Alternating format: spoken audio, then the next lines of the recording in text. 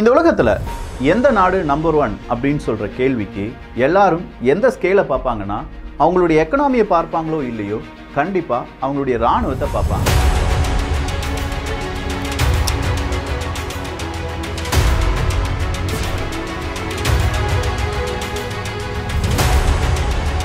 Gold வார் அப்படிங்கிற time ரஷ்யாவுக்கும் அமெரிக்காவுக்கும் மிகப்பெரிய பிரச்சனை. எப்போ வேணாலும் யார் வேணாலும் மாற்றி மாற்றி அடிச்சுக்கிடுவாங்கப்பா. அணு ஆயுதம் வர வீசப்படலாம் அப்படின்னு சொன்ன நேரத்தில் சோவியத் யூனியன் ரஷ்யா சிதறுண்டு போகுது. அமெரிக்கா தான் நம்பர் ஒன் வல்லரசு அப்படிங்கிற பெயர் அடைகிறது.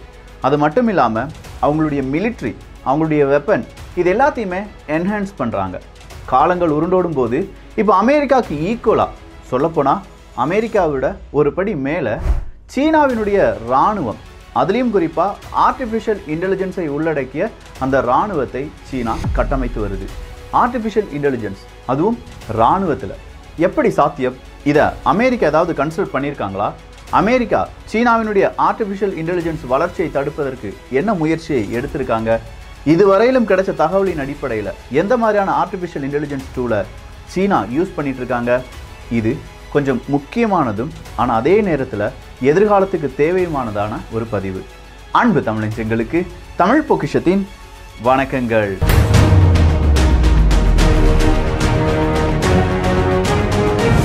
ரெவல்யூஷனைஸ் வார்ஃபேர் அப்படிங்கிற ஒரு புதிய டேர்மை எல்லாருமே இப்போ பயன்படுத்திட்டு இருக்காங்க. ரஷ்யா உக்ரைன் போரில் மேக்சிமம் பழைய ஆயுதங்கள் பயன்படுத்தி முடிச்சிட்டாங்க. இனி புது ஆயுதங்கள் புதுவிதமான டெக்னாலஜி இதெல்லாம் உள்ளே கொண்டு வந்தால் தான் இதற்கான ஒரு தீர்வு எட்டப்படும் அப்படின்னு சொல்லி எல்லாருமே நினச்சிட்டு இருக்கிற இந்த நேரத்தில் தான் இந்த ஒரு வார்ஃபேர் புது விதமான வார்ஃபேருக்கு அடித்தளம் அமைக்கும் விதமாக ஆர்டிஃபிஷியல் இன்டெலிஜென்ஸ் டூல்ஸினுடைய வளர்ச்சி இருக்குது சாட் ஜிபிடி மிட்ஜர்னி டேலி இப்படின்னு சொல்லி பல artificial intelligence tool normal human பீயிங்கே நம்ம இவ்வளோ யூஸ் பண்ணுறோம்னா மிலிட்ரி எந்த அளவுக்கு யூஸ் பண்ணிட்டு இருப்பாங்க? இப்போ நம்ம யூஸ் பண்ணுற கூகுள் மேப்பாக இருக்கட்டும் ஜிபிஎஸ்ஸாக இருக்கட்டும் இல்லை டேலி இந்த மிட்ஜர்னி இது எல்லாமே முதல் முதலாக கண்டுபிடிப்பது அப்படிங்கிறது மிலிட்ரிக்காக மட்டும்தான். ஸோ தேவை என்னவோ மிலிட்ரிக்காகத்தான் ஒரு கட்டத்தில் மிலிட்ரிக்கு மட்டும் இல்லைப்பா அதனுடைய ஒரு ஃபிஃப்டி பர்சன்டேஜ் எடுத்து யாருக்கும் கொடுக்கலாம். நம்ம மனிதர்களுக்கும் சாதாரண மனிதர்களுக்கும் கொடுக்கலாம் அப்படிங்கிற பெயரில் தான் நாம் இன்றைக்கும் ஜிபிஎஸ் எல்லாம் யூஸ் பண்ணிட்டு இருக்கோம். அந்த வகையில் பார்க்க போனால் அமெரிக்காவில் ஒரு முக்கியமான கூட்டம் அப்படிங்கிறது நடக்குது. US congressional research service CRS அப்படிங்கிறது தான். இந்த சிஆர்எஸ் அப்படிங்கிற கூட்டத்தில் அமெரிக்காவுக்கு ஷாக்கிங்கான ஒரு ட்ரூத்தை ரிவீல் பண்ணுறாங்க அந்த டைட்டில் என்ன அப்படின்னு கேட்டிங்கன்னா emerging military technologies background and issue for Congress அப்படிங்கிறது தான். ஸோ மிலிட்ரி டெக்னாலஜியில் புது டெக்னாலஜி என்ன? அதில் யார் முதல் நிலைமையில் இருக்காங்க அப்படிங்கிறது தான் இந்த கூட்டம். இந்த கூட்டத்தில் பேசின எல்லாருமே நாம் இப்போ நம்பர் ஒன்ல தான் இருக்கோம். ஆனால் நமக்கு பின்னாடி வந்த சீனா நம்மளை விட பல மடங்கு அட்வான்ஸாக அவங்க ட்ரை பண்ணிட்டு இருக்காங்க. சொல்லப்போனால் நாம் நம்முடைய பதவியை நம்பர் ஒன் அப்படிங்கிற பொசிஷனை இழக்க வேண்டியதாக இருக்கும் அப்படின்னு சொல்கிறாங்க அப்படி சொன்னதுக்கான காரணம் சீனாவினுடைய நியூ எரா அப்படிங்கிறது தான். பீஜிங். சீனாவை நம்ம எடுத்து பார்த்தோம்னா ஜி ஜிங்பிங் அவர்கள் இரண்டாயிரத்தி இருபது இரண்டாயிரத்தி இருபத்தி ஒன்றில் அடுத்த அஞ்சு வருஷத்தில் நம்ம என்னெல்லாம் செய்யணும் அப்படின்னு சொல்கிற ஒரு பெரிய கனவு திட்டத்தை சீனாவில் சொன்னார் அப்படின்னு சொல்லியும் அதன் காரணமாகத்தான் ஒரு பத்தாயிரம் மீட்டர் ஆழத்துக்கெலாம் துளை போட்டுட்டு இருக்காங்க ஆழ்துளையெல்லாம் போட்டுட்டு அப்படிங்கிற ஒரு வீடியோவும் நம்ம பதிவு பண்ணியிருந்தோம். அதே அஞ்சு வருஷத்தில் ஆர்டிஃபிஷியல் இன்டெலிஜென்ஸ் அப்படிங்கிறதும் சீனாவினுடைய இராணுவத்தில் ஒரு ஹைபிரிட் லெவலில் நார்மலாக ஒரு ஆர்டிஃபிஷியல் இன்டெலிஜென்ஸை தனியாக பார்க்காம இராணுவமும் ஆர்டிஃபிஷியல் இன்டெலிஜென்ஸும் இணைந்து நம்ம ஒன்று சேர இதை கொண்டு செல்ல வேண்டும் அப்படிங்கிற முடிவுடன் நியூ எரா அப்படிங்கிறத வடிவமைத்திருக்கிறார்கள். அதுலேயும் குறிப்பாக ஜி ஜிங்பிங் அவர்களை பொறுத்த வரைக்கும் வேர்ல்டு கிளாஸ் ஆர்மியை உருவாக்கணும். பீப்புள்ஸ் லிபரேஷன் ஆர்மி அப்படிங்கிறது ஒரு வேர்ல்டு கிளாஸ் ஆர்மியாக இருக்கணும். அந்த ஆர்மி உருவாகக்கூடிய அந்த எராவை நியூ எரா அப்படின்னு சொல்லி சீனா அழைத்து வருகிறது.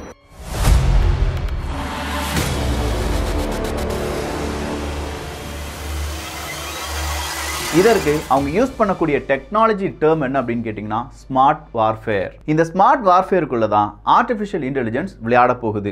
மூணு விஷயங்களை இன்டகிரேட் பண்ணணும்னா பிஎல்ஏ அப்படிங்கிற பீப்புள்ஸ் லிபரேஷன் ஆர்மி சீனாவினுடைய ராணுவத்தை நம்ம ஸ்மார்ட் வார்ஃபேர் ராணுவத்துக்கு தகுந்தது மாதிரியான வேர்ல்டு கிளாஸ் ராணுவமாக உருவாக்க முடியும்.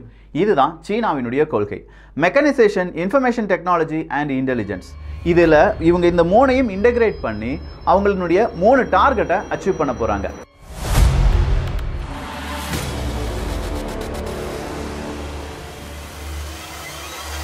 முதல் டார்கெட் என்ன அப்படின்னு கேட்டிங்கன்னா அன்மேண்ட் வெப்பன்ஸ் ஆட்டோனமி அப்படிங்கிறது தான். இந்த அன்மேண்டு வெப்பன்ஸ் ஆட்டோனோமி அப்படிங்கிறது ட்ரோன்ஸ் டெக்னாலஜி ஸ்வாம் ட்ரோன்ஸ்லாம் நம்ம கேள்விப்பட்டிருக்கோம் அப்படி தானே ஒரே நேரத்தில் நூறு ட்ரோன்ஸ் ஒரு இலக்கை நோக்கி போகும். இந்த நூறு ட்ரோன்ஸில் தொண்ணூற்றி ஒன்பது ட்ரோன்ஸை சுட்டு வீழ்த்தினா கூட இன்னொரு மிச்சம் இருக்கிற ட்ரோன் அந்த இலக்கை போய் அடைந்து அது வெடித்து செதறி அதை என்ன செஞ்சிடும் இலக்கை அழித்து விடும். நூறு ட்ரோன்ஸ் ஒரே மாதிரி தான் பறக்கணும் அப்படிங்கிறதெல்லாம் கிடையாது. இந்த நூறு ட்ரோன்ஸுக்குள்ளே கம்யூனிகேட் பண்ணிக்கிடுவாங்க. ஐம்பது ட்ரோன் லெஃப்ட்டில் போ ஐம்பது ட்ரோன் ரைட்டில் போ. அந்த ஐம்பது ஐம்பதுலேருந்து இருபத்தஞ்சு பின்னாடி வா இருபத்தஞ்சு முன்னாடி போ இப்படின்னு சொல்கிற பலவிதமான டெசிஷன் மேக்கிங் அப்படிங்கிறது எல்லாமே ஆர்டிஃபிஷியல் இன்டெலிஜென்ஸ் வழியாக வந்து அந்த அல்கோரிதம் எப்படி சூஸ் பண்ணுது அதுக்கு முன்னாடி என்ன மாதிரியான தடைகள் இருக்கு ட்ரோன் பறப்பதற்கு ஏதாவது தடைகள் இருக்கா இல்ல ஒரு ட்ரோனை முன்னாடி இருக்கக்கூடிய ஒரு துப்பாக்கி வீழ்த்தி விட்டது என்றால் அந்த வழியா போகக்கூடாது உடனா ரீரூட் பண்ணுங்க இது எல்லாத்தையுமே சடன் சடன் சடனா இந்த ஸ்வாம் ட்ரோன்ஸ் அப்படிங்கிறவங்க என்ன செய்வாங்க? டிசைட் பண்ணுவாங்க. அதாவது ஆர்டிஃபிஷியல் இன்டெலிஜென்ஸ் அப்படிங்கிறது டிசைட் பண்ணும். ஸோ இந்த லெவலுக்கு யார் முன்னேறிட்டு இருக்காங்க சீனாவினுடைய வளர்ச்சி இருக்குது அதுதான் அவங்களுடைய first target unmanned weapons autonomy அப்படிங்கிறது. இரண்டாயிரத்தி இருபத்தி ரெண்டு டிசம்பரில் சீனாவில் மட்டுமே seventy different types of project அப்படிங்கிறத இனிஷியலைஸ் பண்ணியிருக்காங்க. இந்த செவன்டி டிஃப்ரெண்ட் டைப்ஸ் அப்படின்னு சொல்கிறது ஒரு டைப் ட்ரோனாக இருக்கும். இன்னொரு டைப் அப்படிங்கிறது நேவல் ட்ரோன்ஸாக இருக்கும். அதாவது கடலில் இதே மாதிரியான அன்மேன்டு போட் இருக்குது டார்பிடோஸ் இருக்குது இது எல்லாத்தையுமே யார் செய்ய போகிறாங்க சீனா. நிறைய ப்ரோட்டோகால் வச்சு அவங்களுடைய ப்ரோட்டோடைப்லாம் உருவாக்கிட்டு இருக்காங்க அப்படின்னு சொல்லலாம். இது அவங்களுடைய முதல் டார்கெட்டாக இருந்தது அப்படின்னா அடுத்ததாக process large amount of information through machine learning அப்படிங்கிறது தான். So large amount of data சீனாவுக்கு எப்போது தேவைப்படும் தெரியுமா? சீனா அவங்களுடைய கடல் பாதையை. சீனாவை பொறுத்த வரைக்கும் தென் சீன கடல் அப்படிங்கிறது எப்போ வேணாலும் பிரச்சனை வரக்கூடிய ஒரு பகுதி. அவங்களுடைய கடலை அவங்க எந்த அளவுக்கு அவங்களுடைய கட்டுப்பாட்டில் வச்சுருக்காங்களோ அந்த அளவுக்கு சீனாவுக்கு நல்லது. ஸோ இங்கே லார்ஜ் டேட்டா அப்படின்னு சொல்லி அவங்க கன்சிடர் பண்ணுறதே கடல் கடல் சார்ந்த அந்த பயணங்கள் அதில் எனிமியினுடைய நடமாட்டம். அப்போ இதுக்கெல்லாம் என்ன வேணும்?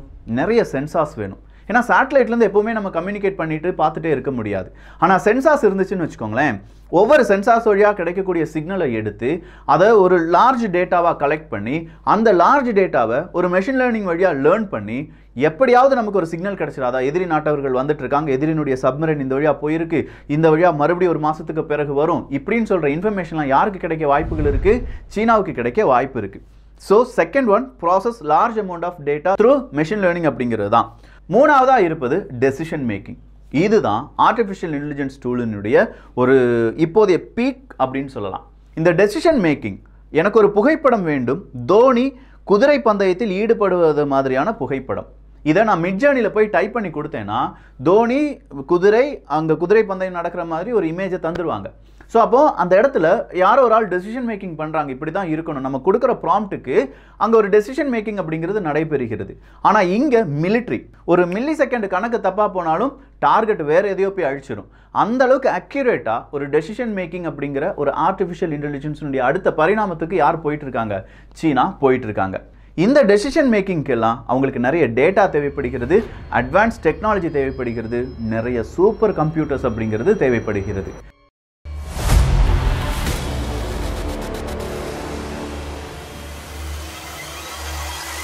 சரிப்பா அப்போ இப்போ சீனா என்ன செஞ்சுருக்காங்க? இப்போ இல்லைங்க இரண்டாயிரத்தி பதினாறு இரண்டாயிரத்தி பதினெட்டில் இரண்டு சென்சார்ஸை சீனா ஆழ்கடலில் கொண்டு வைக்கிறாங்க. ஒன்று குவாம் பகுதியிலும் இன்னொன்று தென்சீன கடலிலும். ஸோ இந்த இரண்டு பகுதிக்குள்ளே இரண்டு சென்சார்ஸை வச்சுருக்காங்க அப்படிங்கிற இன்ஃபர்மேஷனே இரண்டாயிரத்தி பத்தொம்போது இருபதில் தான் உலக நாடுகளுக்கு தெரியுது. அப்போ சீனா என்ன சொல்கிறாங்கன்னா நாங்கள் இரண்டாயிரத்தி பதினெட்டில் அந்த இடத்துல கொண்டு வச்சோம்ப்பா. எங்களுக்கு தேவையான டேட்டா கிடைக்கிறதுக்காக இந்த மாதிரி அக்கஸ்டிக் சென்சார்ஸ் அப்படிங்கிறத ஷாலோ வாட்டரில் மட்டும் நாங்கள் வைக்கல டீப் வாட்டர்லேயும் வச்சுருக்கோம் அப்படின்னு சொல்கிறாங்க இந்த ஷாலோ வாட்டர் டீப் வாட்டர் அப்படின்னு சொல்லும்போது நமக்கு தெரியும். இப்போ இந்த கடல்லையே ரொம்ப ஆழமான பகுதி மனிதர்களால் கண்டுபிடிக்கப்பட்ட பகுதி எது அப்படின்னு கேட்டிங்கன்னா மரியானா ட்ரென்ச் அப்படின்னு சொல்லுவோம். அதில் த சேலஞ்சர் டீப் அப்படின்னு ஒரு பகுதி இருக்குது பார்த்தீங்களா அங்கே ஒரு சென்சாரை கொண்டு வச்சுருக்காங்க சீனா. ஸோ இந்த இடத்துல ஒரு சென்சாரை வச்சு அந்த சென்சார்லேருந்து வரக்கூடிய கம்யூனிகேஷன் வழியாக அமெரிக்கா உட்பட எந்தெந்த நாடுகள் அவங்களுடைய சப்மரைன் இதன் வழியாக அனுப்பிட்டு இருக்காங்க? அந்த சப்மரைன்லேருந்து வரக்கூடிய சிக்னல் என்ன அப்படிங்கிறதெல்லாம் ப்ராசஸ் பண்ணி பார்த்துட்டு இருந்திருக்காங்க. ஸோ சேலஞ்சர் டீப்புக்குள்ளே ஒரு சென்சார் இன்னொரு சென்சார் அப்படிங்கிறது தென்சீன கடலில் ஒரு பகுதி. அது வந்து அன்ஐடென்டிஃபை லொக்கேஷனில் இருக்குது அப்படின்னு சொல்கிறாங்க சரி இந்த இரண்டு சென்சார் வழியாக அமெரிக்காவுக்கு ஏன் ஒரு குடைச்சலை கொடுக்க முடியும்னு கேட்டிங்கன்னா அமெரிக்காவினுடைய ஒரு கடற்படை தளம் இருக்கு குவாம் அப்படின்னு சொல்லலாம். அது வந்து ராணுவ தளம். அமெரிக்காவினுடைய மிக முக்கியமான ராணுவ தளம் தான் இந்த குவாம் அப்படின்னு சொல்ற இடம். ஸோ அந்த இடத்துல அமெரிக்காவினுடைய ராணுவம் செய்யக்கூடிய அத்தனை விதமான டேட்டாவையும் யார் எடுத்துட்டு இருக்காங்களாம் சீனா எடுத்துட்டு இருக்காங்களாம் அப்படின்னா இன்னொரு விஷயம் இருக்குது இந்த இடத்துல ரொம்ப ஷாலோ வாட்டரில் வைக்கக்கூடிய சென்சார்ஸை எல்லா நாடுகளுமே வச்சுட்டு இருந்தாங்க இப்போ டீப் வாட்டரில் கொண்டு சீனா இந்த சென்சார்ஸை வச்சிருக்காங்க அப்படின்னா பிஎல்ஏ ராணுவ வீரர்கள் என்ன சொல்கிறாங்க இந்த உலகத்திலேயே ரொம்ப ஆழமான இடங்களில் ரொம்ப அமைதியான இடங்களில் இருந்து டேட்டா எங்களுக்கு மட்டும் கிடைக்குது அப்படின்னு சொல்கிறாங்க இதே மாதிரி அமெரிக்கா ஏதாவது சென்சார்ஸ் யூஸ் பண்ணியிருக்காங்களா அப்படின்னு கேட்டால் எஸ் யூஸ் பண்ணியிருக்காங்க அதை எஸ்ஓ எஸ்யூஎஸ் அப்படின்னு சொல்லுவாங்க. சவுண்ட் சர்வைலன்ஸ் சிஸ்டம் அப்படிங்கிறது தான். இந்த சவுண்ட் சர்வைலன்ஸ் சிஸ்டம் அப்படிங்கிறத அமெரிக்கா எப்படி செஞ்சுருந்தாங்கன்னா நிறைய அண்டர் சி சென்சார்ஸ் வழியாக செஞ்சுருந்தாங்க. ஆனால் இந்த சென்சார்ஸை விட இப்போ சீனா யூஸ் பண்ணியிருக்கிற சென்சார்ஸ் ரொம்ப அதிநவீனமானது அப்படின்னு சொல்லப்படுது. எஸ்ஓ எஸ்யூஎஸ் அப்படிங்கிற இந்த சர்வைலன்ஸ் சிஸ்டத்தை அமெரிக்கா பில்ட் பண்ணும்போது அவங்களுக்கு ஐயூஎஸ்எஸ் அப்படிங்கிற ஒரு ஸ்டேஷன் தேவைப்பட்டது. இன்டகிரேட்டட் அண்டர் சி சிஸ்டம் அப்படிங்கிறது தான் இப்போ இந்த அண்டர்சியில் வச்சுருக்கக்கூடிய நிறைய டேட்டாவை கலெக்ட் பண்ணி அப்படி கலெக்ட் பண்ண அந்த டேட்டாவை ப்ராசஸ் பண்ணுறதுக்காகத்தான் இந்த ஐயூஎஸ்எஸ் அப்படிங்கிற அந்த ஸ்டேஷனை வச்சுருந்தாங்க. ஆனால் இப்போ காலம் மாறிடுச்சு. ஆர்டிஃபிஷியல் இன்டெலிஜென்ஸ் வந்துருச்சு. ஆர்டிஃபிஷியல் இன்டெலிஜென்ஸ் வந்ததுனால மிகப்பெரிய அளவில் டேட்டாவை மெஷின் லேர்னிங் வழியாக அதை ரீட் பண்ணி அது ஒரு சப்மரைனா அது ஒரு திமிங்கலமாக இல்லை அங்கே ஏதாவது நிலநடுக்கம் வந்திருக்கா? இல்லை ஆழ்கடலில் ஏதாவது பிரச்சனைகள் இருக்கா? இது எல்லாத்தையும் யார் நோட் பண்ணிட்டு இருக்காங்க சீனா நோட் பண்ணிட்டு இருக்காங்களாம் இந்த ரிப்போர்ட் எல்லாமே சப்மிட் பண்ணது அமெரிக்கா அப்படிங்கிறதையும் நான் இங்கே மறுபடியும் உங்களுக்கு ஞாபகப்படுத்த விரும்புகிறேன். இது இரண்டாயிரத்தி பதினெட்டாக இருந்துச்சுன்னா நான்கு வருடங்கள் ஆர்டிஃபிஷியல் இன்டெலிஜென்ஸ் மிகப்பெரிய அளவில் வளர்ந்துருச்சு. இரண்டாயிரத்தி இருபத்தி ரெண்டில் சீனாலேருந்து மறுபடியும் ஒரு செய்தி வருது. Chinese scientist develop long distance underwater communication long distance underwater communication இங்கே லாங் டிஸ்டன்ஸ் அப்படிங்கிறது முப்பதனாயிரம் சதுர கிலோமீட்டர் நிலப்பரப்பில் கடல் பரப்பில் என்னென்ன நடக்குதோ அதை சீனாவால் ஒட்டு கேட்க முடியும் அப்படின்னு சொல்கிறாங்க இந்த முப்பதனாயிரம் சதுர கிலோமீட்டர் கடற்பரப்பு இதில் இருக்கக்கூடிய டேட்டாவை எப்படி இவங்க எடுப்பாங்க? இதற்கான ஒரு சென்சாஸை இவங்க தயாரிச்சிருக்காங்க அப்படின்னு சொல்லும்போது இதனுடைய முந்தைய நிலைமையில் இப்போ கொமர்ஷியலாக இருக்கக்கூடிய சென்சாஸ் அதனுடைய வேலை இது ரெண்டுமே நம்ம டிஃப்ரென்ஷியேட் பண்ணி பார்க்கணும். அப்போனா தான் சீனா கண்டுபிடிச்சிருக்கக்கூடிய இந்த சென்சாஸினுடைய முக்கியத்துவம் என்ன அப்படிங்கிறது நமக்கு புரியும். கிட்டத்தட்ட நூற்றி அஞ்சு கிலோமீட்டர் தூரத்தில் ஏதோ ஒரு கப்பல் வருது இல்லை ஒரு குண்டு வெடிச்சிருக்கு. அதை இந்த பக்கமாக இருக்கக்கூடிய சீனா அவங்களுடைய சென்சாஸ் இரநூறு மீட்டர் ஆழத்தில் இருக்குன்னு வச்சுக்கோங்க. இரநூறு மீட்டர்னா அறுநூத்தி ஐம்பத்தி ஆறு அடி ஆழத்தில் இருக்கக்கூடிய சென்சார் வழியாக சீனாவால் உணர்ந்து அதை என்ன செய்ய முடியும்? சீனாவுக்கு கம்யூனிகேட் பண்ண முடியும். ஸ்மார்ட் வெப்பன்ஸ் அப்படிங்கிற ஒரு வார்த்தையை இங்கே யூஸ் பண்ணுறாங்க சீனா. ஸோ ஸ்மார்ட் வார்ஃபேர் தான் நம்முடைய அடுத்த இலக்கு அப்படின்னு சொல்ல சீனா ஸ்மார்ட் வெப்பன்ஸ் அப்படிங்கிறத தயாரிக்கிறாங்க. அங்கே ஒரு ட்ரோன் பறந்துட்டு இருக்கலாம். அந்த ட்ரோன் பறந்துட்டு இருக்கிற ட்ரோனுக்கு நூற்றி அஞ்சு கிலோமீட்டர் தொலைவில் ஒரு சப்மரைன் வருதுடா அப்படின்னு சொல்கிற அந்த டேட்டாவை கிட்டத்தட்ட இரநூறு மீட்டர் ஆழத்தில் இருக்கக்கூடிய சென்சார் யாருக்கு அனுப்பிவிடும்? சீனாவினுடைய ட்ரோனுக்கு அனுப்பி கொடுக்கும். ஒரு நெட்வொர்க் தான்.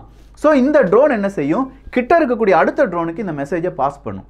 கிட்ட இருக்கக்கூடிய அடுத்த ட்ரோன் அடுத்த ட்ரோன் அடுத்த ஷிப் அடுத்த ஏதாவது ஒரு ஏரோப்ளேன் ஜெட் இப்படின்னு சொல்லி எல்லாத்துக்கும் பாஸ் பண்ண பிறகு கிரவுண்ட் ஸ்டேஷனுக்கு இந்த டேட்டா வரும். அப்படின்னா இந்த டேட்டா எவ்வளவு குயிக்காக பாஸ் ஆகணும் அப்படிங்கிறதும் இங்கே ஒரு கேள்வி. இப்போ இவங்களுடைய சென்சாரை பொறுத்த வரைக்கும் இரநூறு பிட் பர் செகண்ட் அப்படிங்கிற அந்த ஸ்பீடில் டேட்டா டிரான்ஸ்ஃபர் அப்படிங்கிறது நடக்குது. சரி இது இவங்க கண்டுபிடிச்சது யாரு? சீனா கண்டுபிடித்தது. இப்போ கொமர்ஷியலாக இருக்கக்கூடிய சென்சார்ஸ் வெறும் பத்து கிலோமீட்டர் ரேஞ்சில் இருக்கிறது தான். ஸோ பத்து கிலோமீட்டருக்கு ஒரு தடவை நம்ம என்ன செய்யணும்? இதே மாதிரியான சென்சார்ஸை வைக்கணும். பத்து கிலோமீட்டர் சென்சார்ஸை யார் சோதிச்சு பார்த்துருக்காங்கன்னா சவுத் கொரியா. அதனுடைய டேட்டா ட்ரான்ஸ்ஃபர் ரேட் என்ன அப்படின்னு கேட்டிங்கன்னா one twenty eight bit per second தான். அது two hundred bit per second இது one twenty eight bit per second so மேக்ஸிமமாக இருபது கிலோமீட்டர் டிஸ்டன்ஸில் என்ன நடக்குது அப்படிங்கிறத அக்யூரேட்டாக கண்டுபிடிப்பதற்கான சென்சார்ஸ் மட்டும்தான் இப்போ நிறைய பேர் சோதிச்சுட்டு இருக்கும்போது நூற்றி அஞ்சு கிலோமீட்டர் தொலைவில் இருக்கக்கூடிய அந்த இன்ஃபர்மேஷனை எப்படி சீனாவால் எடுக்க முடியும்? கடல்ல இருந்து கிடைக்கக்கூடிய சிக்னல் அவ்வளவு சுலபமாக நம்மளால் எடுத்து அதை வந்து ரீட் பண்ணிட முடியாது. ஏன்னா கடலில் நிறைய பாறைகள் இருக்கும். காத்தடிக்கிற ஸ்பீடுக்கு அலைகள் அப்படிங்கிறதுனுடைய அந்த சவுண்ட் இருக்கும். திமிங்கலங்கள் நிறைய விதமான பிரச்சனைகள் இப்படின்னு சொல்கிற எல்லா நாய்ஸையும் ரிமூவ் பண்ணி நல்லா கவனிச்சுக்கோங்க. ஒரு ஆர்டிஃபிஷியல் இன்டெலிஜென்ஸ் டூல் இதெல்லாம் செஞ்சிட்ருக்கு. எல்லா விதமான நாய்ஸையும் ரிமூவ் பண்ணி அந்த சிக்னலை அச்சசலாக ரீட் பண்ணியிருக்காங்க சீனாவினுடைய சயின்டிஸ்ட் இது ஒரு ஜஸ்ட் ப்ரோட்டோடைப்பாக அவங்க கிரியேட் பண்ணியிருக்காங்க இன்னும் இது ப்ரொடக்ஷனுக்கு போகலை.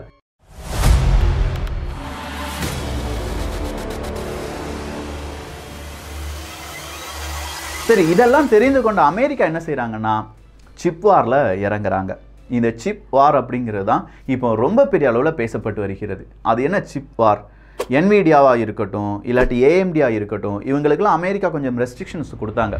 அந்த ரெஸ்ட்ரிக்ஷன் காரணமாக சீனாவினுடைய ஆர்டிஃபிஷியல் இன்டெலிஜென்ஸினுடைய அடுத்த கட்டம் அப்படிங்கிறது தடைப்படுத்தப்பட்டிருக்கிறது. அவ்வளோதான் தடைப்பட்டு நிற்குதுன்னு நம்ம சொல்ல முடியாது.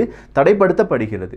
இதையும் மீறி சீனா என்ன செய்ய போகிறாங்க இந்த சிப் வாரில் இந்தியாவினுடைய அந்த பொசிஷன் எங்கே? அமெரிக்கா. இந்த சிப் வாரில் ஜெயிச்சிருவாங்களா? Next topic chip war so இந்த ஒரு காணொலி எப்படி இருந்துச்சு? இந்த காணொலியை கேட்கும்போது உங்கள் மனசில் அடுத்ததாக வரக்கூடிய கேள்வி என்னென்னா ஏன் இதே மாதிரி டெக்னாலஜி அமெரிக்காட்ட இல்லையா? இதே மாதிரி டெக்னாலஜி ரஷ்யாட்ட இல்லையா? இதே மாதிரி டெக்னாலஜி இந்தியாட்ட இல்லையா? அப்படின்னு கேட்டால் இருக்குது ஆனால் யார் இங்கே அட்வான்ஸ்டாக இருக்காங்க? யார் இங்கே நம்பர் ஒன் பொசிஷனுக்கு மூவ் பண்ணிகிட்டு இருக்காங்க அப்படிங்கிறது மட்டும்தான் என்னுடைய ஸ்டடி இந்த ஸ்டடிக்கு தேவையான அனைத்து விதமான ப்ரூஃப் அண்ட் லிங்க்ஸ் கீழே டிஸ்கிரிப்ஷனில் கொடுத்துட்றேன் மாணவ மாணவிகளுக்கு இதை ஃபார்வர்ட் பண்ண வேண்டியது உங்களுடைய கடமை. ஏன்னா இதை பற்றி நம்முடைய மாணவ மாணவிகளுக்கு தெரிஞ்சாதான் இதே மாதிரிலாம் சென்சார்ஸை யூஸ் பண்ணுறாங்க இதே மாதிரிலாம் ஸ்மார்ட் வார்ஃபேர் ஸ்மார்ட் வெப்பன்ஸ் அப்படிங்கிறதெல்லாம் பயன்படுத்துகிறாங்க நம்முடைய ப்ராஜெக்ட் நம்முடைய செமினார்ஸ் நம்முடைய காலேஜில் இதை பற்றிலாம் டிஸ்கஸ் பண்ணணும். நம்முடைய ஆசிரியர்கள் இதெல்லாம் எடுத்து கிளாஸ் எடுக்கணும். இந்த மாதிரியான அடுத்த ஜென்ரேஷனுக்கு தேவையான விஷயங்களாக இது மாறும். நாம் பார்த்து அப்படியே ஓகே நல்லா இருக்குது அப்படின்னு சொன்னால் மட்டும் நம்முடைய கடமை முடிந்து விடாது. இதை எவ்வளோ பேருக்கு நம்மளால் சொல்ல முடியுமோ அவ்வளோ பேருக்கு சொல்லிக் கொடுப்போம். நாளைய தலைமுறையை நல்ல ஒரு தலைமுறையாக நம்ம குண்டு சட்டுக்குள்ள குதிரை ஓட்டிட்டோம். ஆனால் நாளைய தலைமுறை வானுலக முறை விண்ணை தாண்டியும் பறக்கட்டுமே அப்படிங்கிற ஒரு நினைப்புடன் நம்முடைய காணொளிகள் இருக்க போகின்றன. இந்த ஒரு காணொலி பற்றி உங்களுடைய கருத்துக்கள் இங்கே வரவேற்கப்படுகின்றன எல்லோரும் தமிழ் பொக்ஷத்தில் இணைந்திருங்கள். நல்லதை பகிர்ந்து நல்ல சமுதாயத்தை உருவாக்குவோம். நன்றி. வணக்கம்.